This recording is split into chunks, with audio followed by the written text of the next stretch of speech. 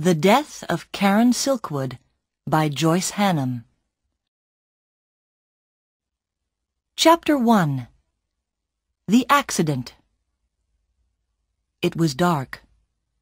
Nobody saw the accident. The small white car was found on its side by the bridge. A river ran underneath the road there, and the car was lying next to the bridge wall, below the road. Inside the car was a dead woman. Her name was Karen Silkwood, and she was 28 years old. It was November 13th, 1974. How did the car come off the road? Why was it on the wrong side of the road? Why was it so far from the road? There was nothing wrong with the car. Karen Silkwood was a good driver. Everybody knew that. The police thought that there was an easy answer to these questions. Karen was tired after a long day, so she fell asleep while she was driving. It could happen to anyone very easily. They took the car to a garage and they took Karen's body to a hospital. But some people were not happy about the accident. First of all, her boyfriend, Drew Stevens. Also, a newspaper journalist from the New York Times and a union official from Washington. These three men were waiting for Karen on the night of the accident. She was bringing them some papers and some photographs in a big brown envelope. The papers were very important. The men were waiting for Karen in a hotel room a few miles from the accident. But she never arrived. When they heard about the accident, the men looked for the brown envelope at once. They looked for it inside the white car. They looked for it at the hospital and at the police station. The next morning, they looked all around the wall and in the river, but they never found it. Nobody ever found that brown envelope.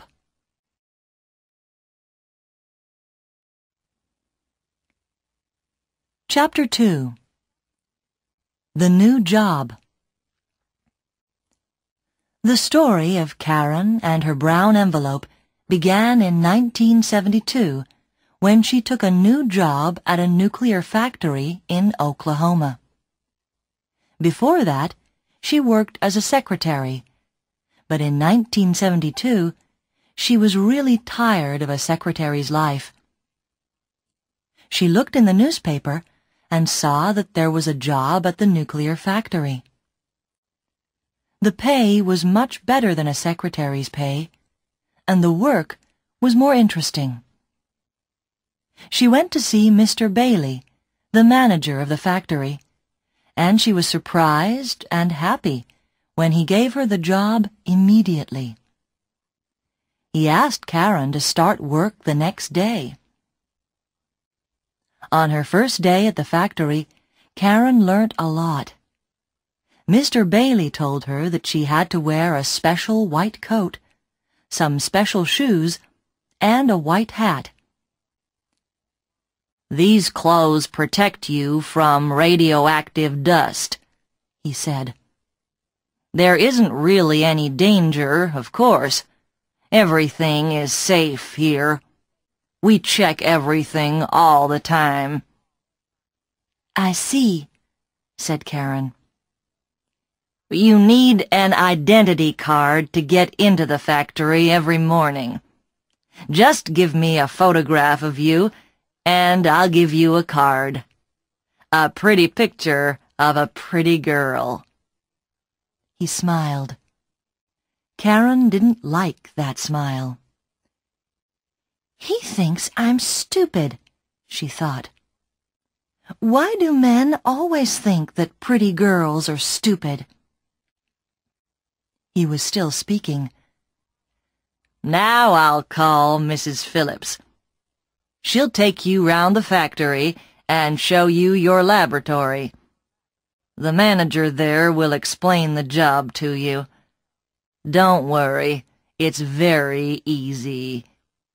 He smiled his thin smile again. The door opened and Mrs. Phillips came in. She was about forty years old and a little fat. She looked afraid. You wanted me, Mr. Bailey? Yes, Susan. This is Karen Silkwood. She's going to work with you in your laboratory. Could you take her around the factory and tell her about the work? Oh, I see. Of course, Mr. Bailey. Please follow me, Miss Silkwood.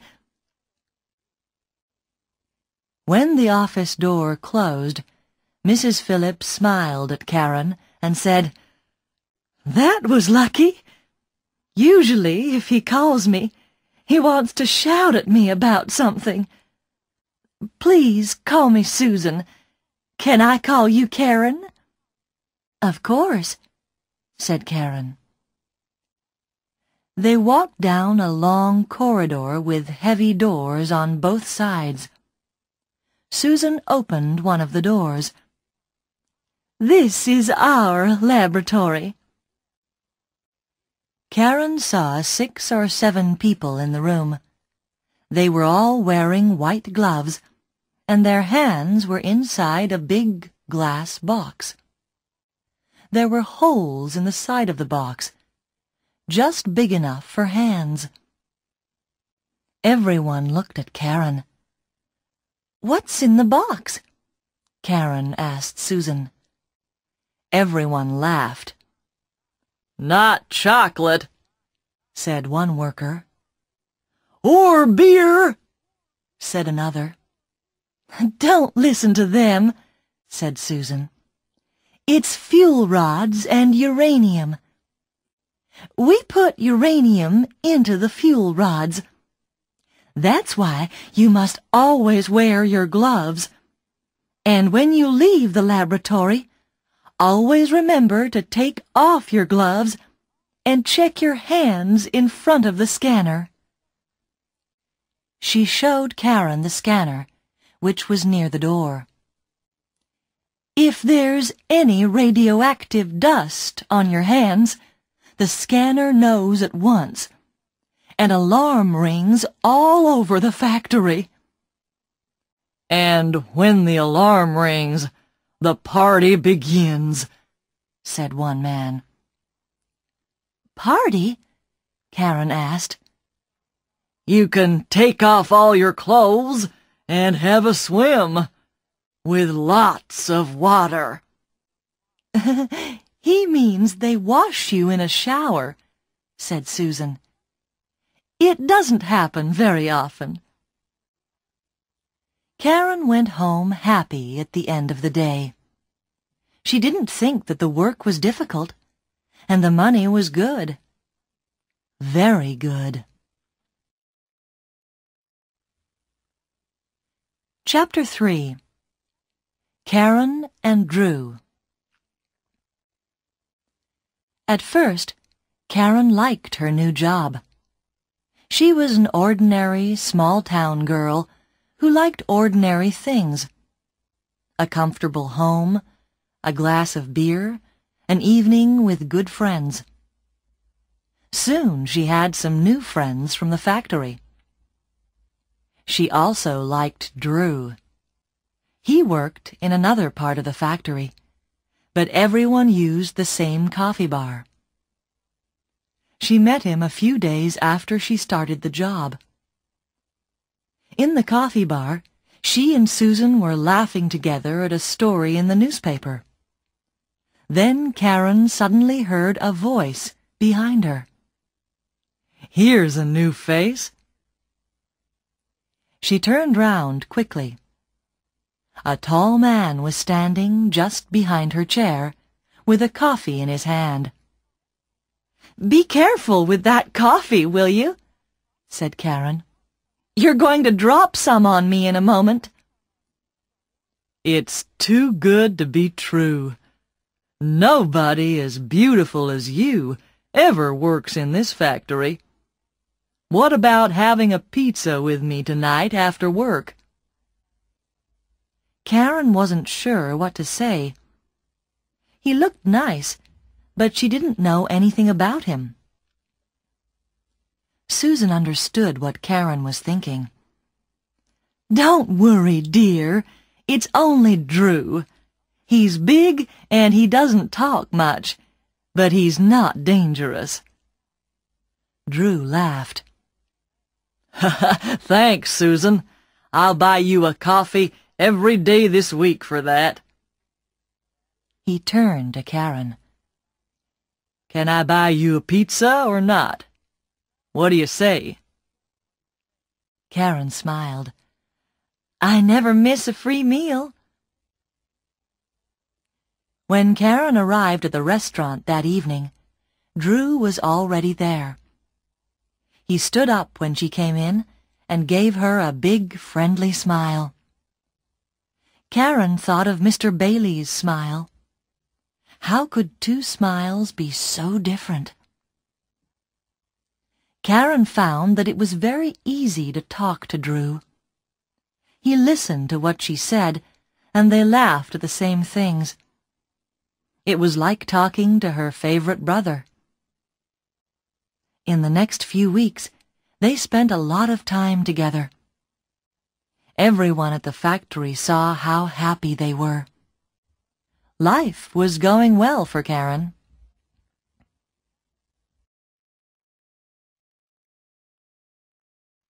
Chapter 4 The Shower But in the summer of 1974, everything began to change. One evening, Karen and Susan were leaving the laboratory. First, Karen checked her hands in front of the scanner. And then, a minute later, Susan checked her hands. Suddenly, there was a terrible noise. It was like a high scream. Everybody could hear it all over the factory. Susan didn't move. She just looked at her hands. Then the door of the laboratory flew open. Two men in white coats ran in and took Susan by the arms. Before Karen could do anything, they pulled Susan through the door. The terrible noise of the alarm was still going. Karen shouted, Where are you taking her? Nobody could hear. Nobody answered. Suddenly, the noise stopped. Karen turned to the other workers. Where will she be? In the shower room. Karen ran out of the laboratory and along the corridor to the shower room. Inside the room, Susan was screaming. Karen pushed open the door. Susan had no clothes on, and the two men were showering her from head to foot, in her eyes, inside her ears, everywhere. The water hit her body like stones. Stop that! shouted Karen. You're hurting her! Not as much as radioactive dust can hurt her. One very small piece could kill her, shouted back one of the men. Ten minutes later, they stopped the shower. Susan's face was as white as snow, and she was shaking with cold. The men checked her body again with a hand scanner. Okay, you're clean now. Put your clothes on. In five minutes, we'll come back and take you to the medical center for more tests. They left. Susan looked at Karen. They say I'm clean, Outside, perhaps. But what about inside? How much radioactive dust is in my body? Am I hot? Her voice was quiet and tired. Suddenly, she looked old. Slowly, she began to put her clothes on. Hot? What do you mean? asked Karen. Hot means radioactive. I see. Karen looked at her own hands. Were they clean? How carefully did the scanner check them? She worked next to Susan in the laboratory. Perhaps the dust was on her hands, too. I'm sure you're fine, Susan. The men said you were okay, and the doctors will know. Nobody knows. Uranium is very new. Nobody really knows what it can do to us. One of the men came back with a woman. Come along, dear. Time for your medical tests. Then they saw Karen near the door. What are you doing here? If you've finished work for today, you can go home. Karen did not listen to them. Are you okay, Susan? Do you want me to come with you? Susan shook her head. No, it's okay. You go home, Karen. I'll phone you later. Don't worry about me. And thank you. The man and the woman took Susan's arms and walked down the corridor, with Susan between them. She looked very small and very afraid.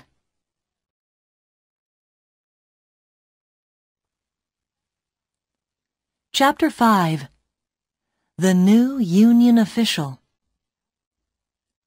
After the shower, Susan was a different person. She was quiet and didn't laugh very often. One evening, a few months after the shower, Karen met Susan in a bar for a drink after work. You know, Karen, we really must leave the factory. It's very dangerous. How many times do we hear the alarm now? More and more often. And every time we hear it, we know that someone is in danger. How does it happen? I don't understand it, said Karen. It's because the factory is working 24 hours a day. The safety people can't do their job well. They have to check everything carefully every day. But when can they do it? When we finish, there are the people who come into work at night. The managers don't care about the danger. They only care about the money. And you know, Karen, I am just the same. I also have to think only of money. I have three children, and my husband is dead. I need the money from the factory. It's more than I can get from any other job in Oklahoma. Three children are expensive. Very expensive. Of course, answered Karen. I understand. Drew and I have talked about this. He's thinking about leaving too. It's okay for a young man, strong like Drew. He can get many other jobs. You could leave too, Karen. Why don't you? Because I've decided to change things here. I like the job, and I like the people who work here. The money is good we just need to improve safety. That's all. Surely that's not difficult.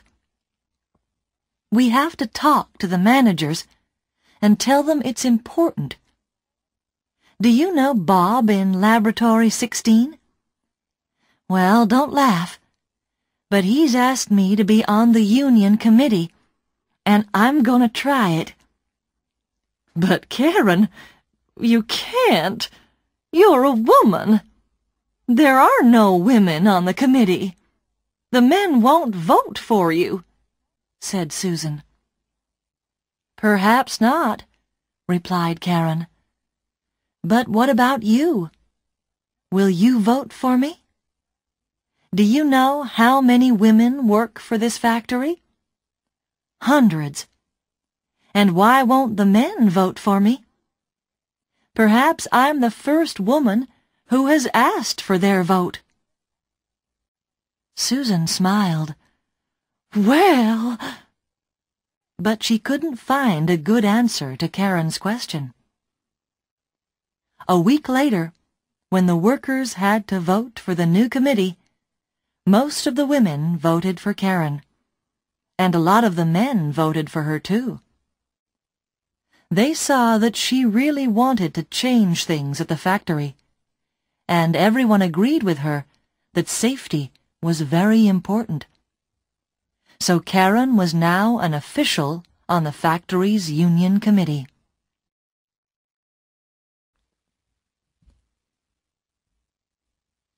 Chapter 6 The Meeting in Washington A month or two later, the alarm sounded again. This time, Karen was in front of the scanner. She went quietly with the men in white coats.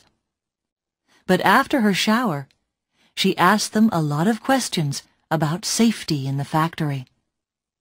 They didn't answer any questions. They just got angry. They knew she was on the union committee, and they were afraid of her. All the managers knew that Karen was on the committee because she always had a notebook in her hand. In her notebook, she wrote down all the scanner alarms, every shower, and every other danger in the factory. She asked a lot of people a lot of questions, and always wrote the answers in her notebook. The notebook was getting full. In September 1974, the Union Committee had a meeting. Everybody could see that safety at the factory was getting worse. The committee decided to write to the union leaders in Washington and ask for help. Two days later, there was a phone call from Washington. The leaders wanted to see the Union Committee immediately in Washington. For Karen, this journey to Washington was a big adventure. She wanted to see the White House and all the other famous places in the first city of the USA. But she had very little free time. She spent nearly all the time at a long meeting. At first, the leaders just listened to what Karen and the others said about the factory. Their faces got more and more unhappy. Karen explained what was happening. The managers take photographs of the fuel rods to check that they are safe. But I know that they are secretly changing the negatives of the photographs. And why are they doing that? Because the photographs show that the rods are not safe. Suddenly, one of the leaders said to Karen, Do you understand what you're saying, Miss Silkwood? The lives of many people could be in danger if you're right. Uranium is very, very dangerous. I'm just telling you what the people in the photographic laboratory have told me, Karen said. If this is true, the government will close your factory. Do you understand what that means? A lot of people will lose their jobs. The story will be on the front page of every newspaper. Karen looked unhappy. Will it? We only want the managers to change a few things and to be more careful about safety. I think it's already too late for that. After the meeting, one of the leaders stopped Karen outside in the corridor. Just come with me for a minute, please, he said. He took Karen into a small room and closed the door. He didn't want anybody to hear them. Karen, we need proof about these negatives. Without proof, nobody will believe our story. Can you get some for us? What proof do you need? Someone will have to go into the photographic laboratory and steal some negatives. We need the negatives both before they change them and after they change them. Do you know where they keep the negatives? Yes, I know, said Karen quietly. But it will be very difficult. I don't work in the photographic laboratory. If one of the managers sees me there, how can I explain what I'm doing? I don't know, but you'll have to think of something. We can't help you if you haven't any proof. They were both silent for a minute. Karen looked out of the window. It was a lovely evening. She thought of Mr. Bailey's cold smile and Susan's screams in the shower. I'll do it, she said. Good girl. It will be very dangerous. Nobody must know what you're doing. Not your friends on the committee. Nobody. I'll be the only person who knows. I'll phone you once a week, and you can tell me how you're getting on. Nobody? Can't I tell my boyfriend, Drew? asked Karen. No. It could be dangerous for anybody who knows. I see. Okay. I'll do what I can, said Karen slowly. Be very, very careful. You're a brave girl. I'd like to thank you for agreeing to do this. Karen stood up. Outside the window, the sun was still shining, but she felt cold and lonely. Can I phone you if I need to speak to someone? Of course. Any time, day or night. This is my card with my name and phone number. Karen took his card. She saw that his name was Pete. She looked at him once more, and then she left the room.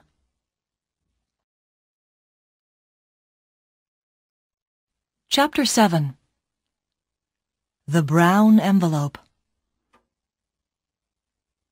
When she arrived back from Washington, Drew was waiting at the airport.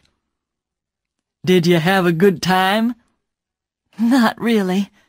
Things are worse at the factory than we thought. The union leaders are going to send some doctors to the factory to talk to everyone about the dangers of uranium. Poor Karen. You look very tired.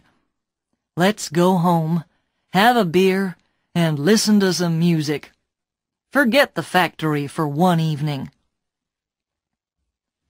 Karen looked at Drew's kind, strong face.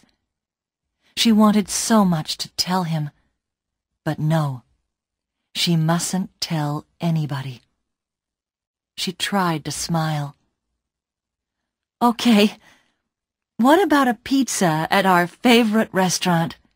she said. During the month of October 1974, Karen told nobody about her secret, but she felt very lonely.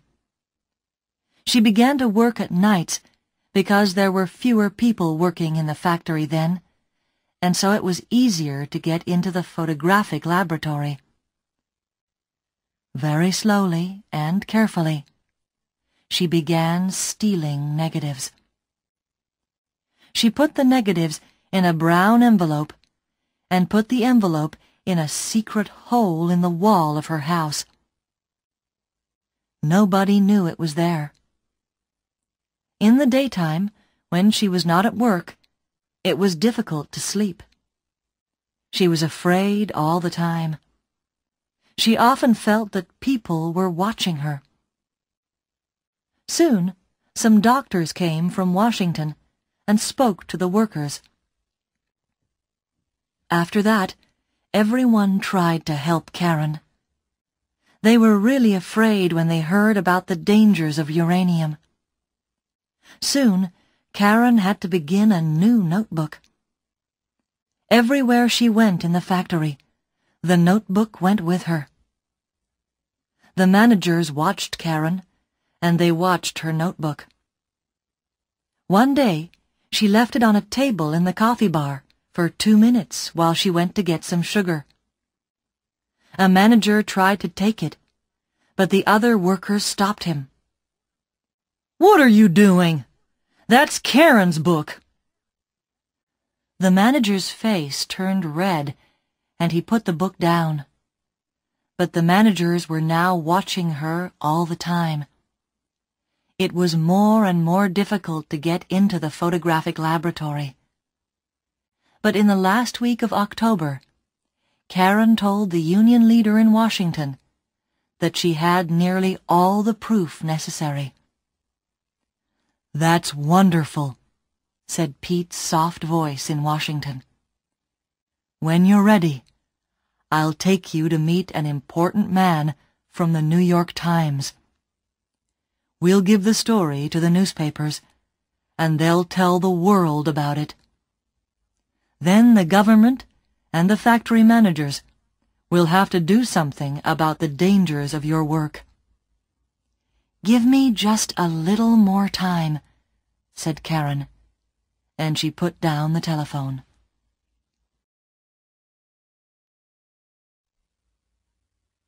Chapter 8 A Hot Home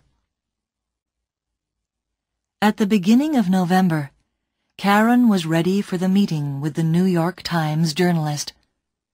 The brown envelope was full. Then Drew decided to leave his job at the factory.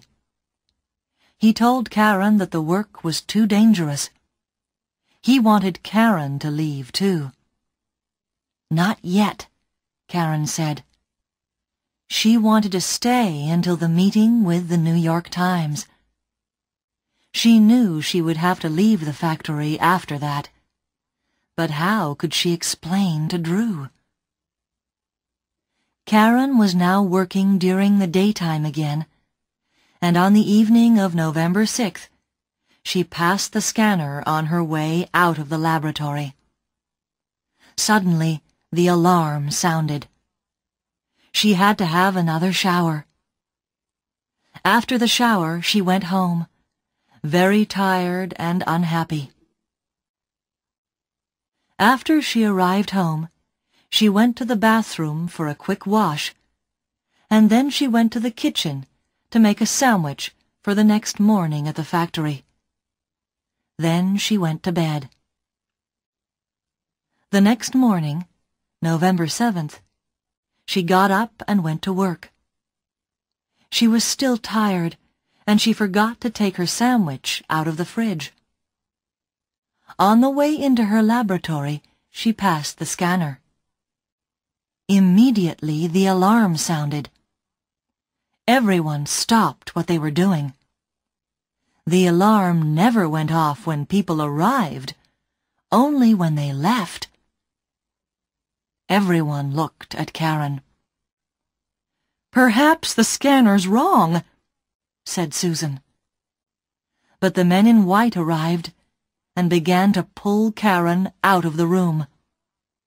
No, please, not again. All my body hurts from the shower last night. But nobody listened. They showered her again. But after the shower, she didn't pass the usual scanner test. There was still something radioactive in her body. What does it mean? asked Karen. Nobody answered. A doctor arrived and checked the test again. He shook his head. Where were you last night? he asked. Here, said Karen. I was working late. Where did you go after work? Home, of course.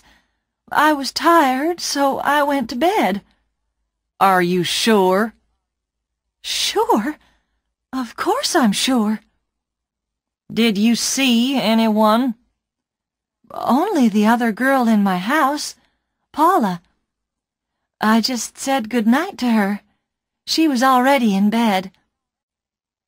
Okay, let's go, said one of the men in white. Where? What's your address? Uh, 26 3rd Avenue West. Why? Get in the car. Don't ask stupid questions. We don't answer questions from thieves. Thieves? What have I stolen? Get into the car. Someone pushed Karen into a big white car. It was full of more men in white. They were all wearing the special white clothes and hats to protect their faces and bodies, and they were all holding scanners. They drove to Karen's home and opened the door with Karen's key. Stay in the car! One of the men in white shouted at Karen. But Karen didn't listen to him. She followed them to the house and looked through the windows. The men went all round the house with the scanners, and everywhere was radioactive. The kitchen, the bedroom, the bathroom. The kitchen was very hot, and when the men opened the fridge, the noise from the scanners was very loud. The men followed the noise to the sandwich. I suppose she made this last night, said one of the men. Stupid girl. She's lucky that nobody has eaten it. They put the sandwich carefully into a bag. That was only the beginning. Soon all Karen's things were in bags. Her clothes, her books, her photos. When they took her photo of Drew, Karen couldn't stay quiet any longer. What are you doing? It's just a photo. Be quiet, they told her. Don't you understand anything? Your house is very radioactive. The walls are hot, too. We can't leave anything in the house. It's not safe. Think of the people next door. Now we're going to lock the house and nobody must go in again. Phone your friend Paula and tell her to find somewhere to sleep tonight. Don't tell her too much. Nobody must know what's happened here. People won't understand, and they'll begin to worry and get afraid. That's not good for the factory. The factory? Who cares about the factory? What about me? If my house is radioactive, I'm radioactive too, said Karen. Why didn't you think of that before you stole the uranium? Go to your boyfriend's house. Don't go out. Don't speak to anyone. We'll phone you tomorrow and tell you what to do. They put all the bags in the car and drove away. Karen stood alone in the middle of the street. They thought she was a thief. But why? Who could want to take uranium out of the factory? Everyone knew how stupid and dangerous that was. She looked silently at her empty house. Now there was nothing in her home. Only a brown envelope in a hole in the wall.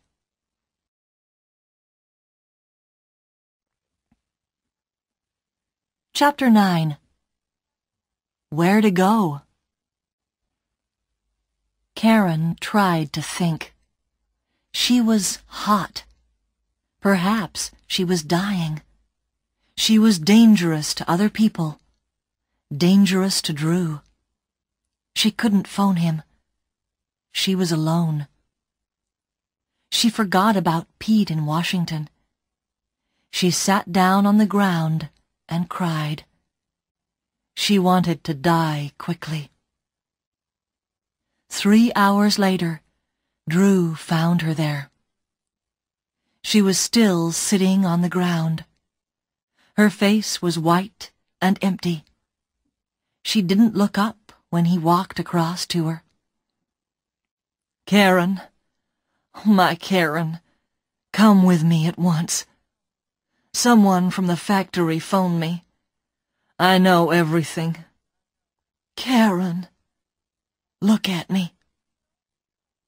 Don't come near me. I'm dangerous to you. Don't be stupid. I talked to the doctor at the factory. He says you're not dangerous to anyone. You've had a shower, so your body's not radioactive now. Karen looked up into his face. And you believe him? Do you still believe anybody in that place? Do you also believe I stole uranium from the factory? Of course not. Did they say that to you? That's terrible. Wait until tomorrow. When I get in there, they'll be sorry they ever said that to you. It's no good, Drew. I'm dying, said Karen quietly. I don't know how this happened, but I know one thing. There are people at that factory who want to see me dead. Karen, you're tired. You need a holiday. You must leave the factory like me. Come home with me now. Home? I haven't got a home anymore. Karen put her head in her hands. Drew looked at the empty house. His face was white and angry. Did they do that too? Karen, my home is your home from now on. He took both Karen's hands and pulled her to her feet. He helped her to his car and took her home.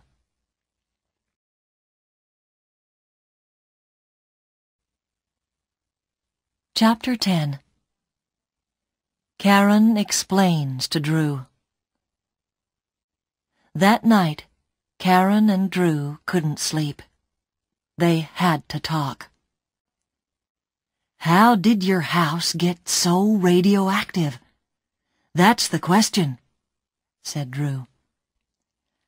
I think, answered Karen, that someone put something radioactive into my bag last night before I left the factory. I remember that I left my bag on the table for a few minutes at coffee time in the afternoon. But Karen, who did that? And why? Drew, I'm going to tell you something.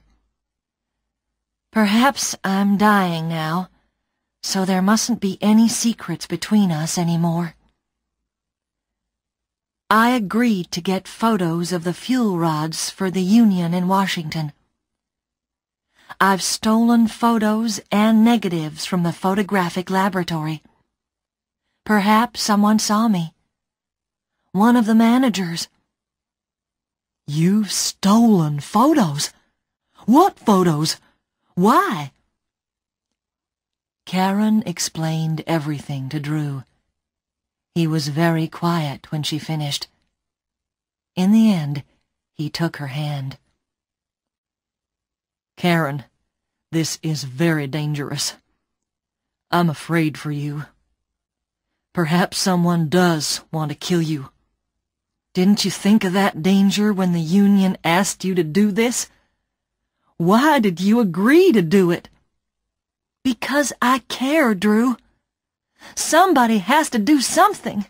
Why not me? I care about you, about Susan, about everyone who has ever worked at that factory. If the danger from radioactive dust doesn't stop, perhaps we'll all die. Don't you understand that? Yes, I understand, said Drew quietly. But I also understand that you're doing a difficult and dangerous job alone. You mustn't work alone anymore. I'll be with you all the time. Nobody is going to hurt you again. Karen smiled. I was right to tell you. I need a friend, and you are the best friend that I have. But it's not much longer now. After the meeting with the New York Times, everything will be finished. I can go on for a few more days, but I'll tell you everything from now on. Next morning, Karen telephoned Pete in Washington and the union committee at the factory. She told them about her house and that the managers were calling her a thief. From Washington, Pete's voice sounded angry and worried. The factory's managers are trying to sack you. Say nothing. Do nothing. We'll speak to them and tell them that we know what's happened to you. You must have medical tests, and we'll tell them that. Karen waited at Drew's house all day. In the evening, the phone rang. Miss Silkwood, said Mr. Bailey's cold voice. You and Drew, and your friend Paula, must go to Los Alamos for tests. The doctors there know all about uranium and radioactive dust. We've talked to the Union. We will pay for the journey, and they will pay for the tests. But we know that you've stolen some uranium. That's why you were so radioactive. There's no other answer. The phone line went dead. Karen looked at Drew. You and I are going to Los Alamos for medical tests. But I'm sure now. The managers know. They know what I've really stolen and they'll look for them while we're away. They'll tell everyone that they're looking for the stolen uranium. But they won't find anything. They won't find their negatives.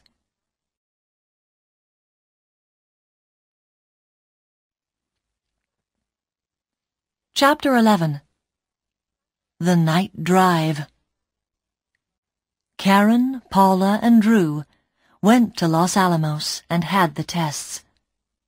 The doctor said that Karen's body was still a little radioactive, but Drew and Paula were all right. It was very good news. They told Karen that she was in no danger now, but they also explained that they didn't know about the future. It will be a few years, they said, before we know that you're really all right. High in the mountains around Los Alamos, Paula, Drew, and Karen had a party in a little restaurant. Karen felt years younger. She was not going to die. She and Drew still had a future together.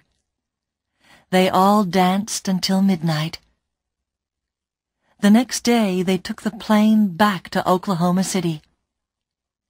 Karen had to go back because that evening there was a union meeting at the factory. and after that, her meeting with Pete and the journalist from the New York Times. It was an important day for her.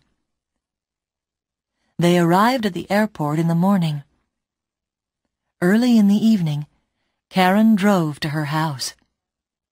She went alone because Drew was working. She used her key and went quietly into the house. She was only inside the house for three minutes, and then she left immediately and went to the union meeting at the factory. That night at the meeting, Karen had a big brown envelope in her bag. The envelope was too big for the bag, so everyone could see it. All the workers were very happy to hear that Karen was all right. They were afraid that she was very ill. So when they saw her looking happy and well, everyone felt better. She looks as happy as she did a year ago, thought Susan. A pretty, happy girl who likes a good time and a good laugh.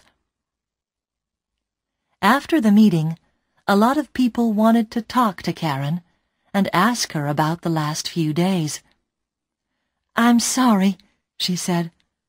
I can't talk to you now. I have to go to another meeting. With your good-looking Drew? asked someone with a friendly laugh. Yes, said Karen, with Drew, and one or two other people. She smiled. Can I take you in my car? asked her friend Bob. No, thanks, said Karen. I've got my car here. It was dark when Karen left the factory. She smiled at all her friends, got into her small white car, and drove away. Karen never arrived at her meeting with Drew, Pete, and the journalist from the New York Times. On the road to the meeting, a few miles from the nuclear factory, she had an accident by a wall near a river. It was November 13th, 1974. Nobody ever found the brown envelope.